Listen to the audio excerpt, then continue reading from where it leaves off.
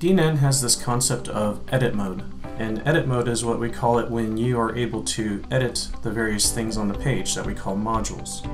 In order to go to edit mode, you simply log in with a, a user account that's authorized, and then you go down to the pencil on the persona bar and click it. The page will reload, and you'll have the ability to edit the various elements on the page. Now when you're in edit mode, you'll have this additional bar at the bottom where you can add new modules to the page, existing modules to the page, or go into the page settings, and you can also on the right side choose to close edit mode.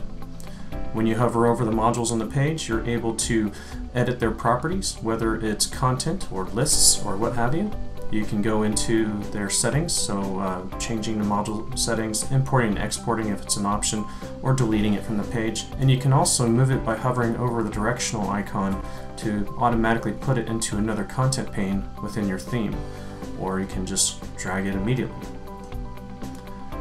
That's a crash course for how to edit in DNN.